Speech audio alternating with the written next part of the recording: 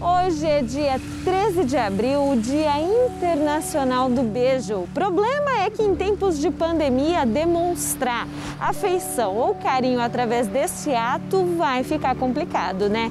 E aqui vai uma curiosidade: você sabia que quando duas pessoas se beijam, há transferência de aproximadamente 80 milhões de bactérias? Isso sem falar nos vírus.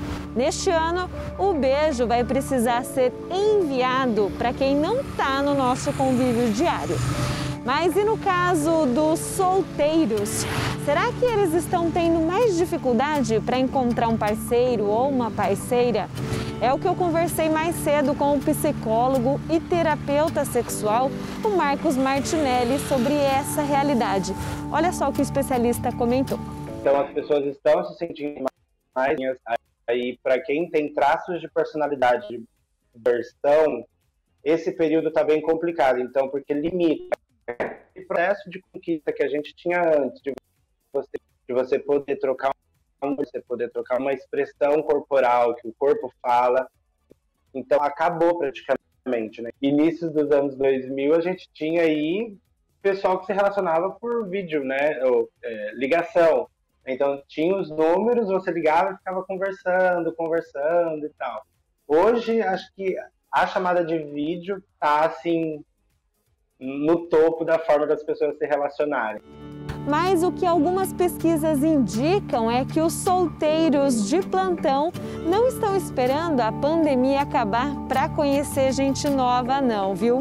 Durante a pandemia, os aplicativos de paquera registraram aumento de interações e lançaram novas ferramentas para facilitar os matches. O Tinder, um dos aplicativos mais famosos nesse segmento, registrou um crescimento de 52% no volume de mensagens enviadas e um aumento de 39% de matches entre membros com menos de 25 anos em plena pandemia da Covid-19. Então, isso faz com que as pessoas, é, no seu momento dentro de também procure em aplicativos formas de se relacionar, de poder se comunicar. Infelizmente, não da forma que a gente faz no dia a dia, né? mas é, de, outras, de outras formas que é até uma evolução da sociedade, né? Hoje você tem diversas formas de se relacionar, de se comunicar. Então é basicamente isso. O primeiro, justamente por causa da pandemia, em um outro momento, porque as pessoas têm necessidade de conversar com alguém, trocar uma ideia, é, de casa, tá só precisa conversar e vai e às vezes mais downloads de aplicativos de relacionamentos e geralmente essas pessoas não têm só um, tem mais de um aplicativo. A maioria quer relacionamento, só que não saem muitos relacionamentos desse, desses, dessas conversas. Né? Então, algumas pesquisas mostram que baixei procurando relacionamento, me envolvi com várias pessoas, mas não estou namorando com ninguém. Então, são é, é, baixa porcentagem de pessoas que realmente entram no relacionamento devido ao aplicativo ter entrado lá. Então as pessoas entram procurando os dois. Eu acredito que agora na pandemia é, a gente ainda não tem nada palpável, né? Acredito que daqui mais um tempo a gente vai conseguir visualizar isso mesmo. Mas as pessoas estão entrando realmente para companhia, não se sentir sozinho. Então, um exemplo, os adolescentes procuram os aplicativos porque foi tirado o que eles viviam antes na escola, nos rolês deles, e aí eu preciso me relacionar. Então, o tempo de tela também aumentou. Então, dos jogos. Dos jogos já vai para uma outra sala. Então ali eles estão entre tribos, eles estão entre iguais e é uma forma deles se sentirem mais pertencentes confortáveis, confortáveis dentro de casa realmente. O beijo é considerado um dos maiores gestos de carinho e amor entre os seres humanos. A mãe que acolhe o filho, o beijo entre irmãos, amigos e, claro, entre casais. Esse simples ato é capaz de exercitar dezenas de músculos, ajudando a queimar até 26 calorias.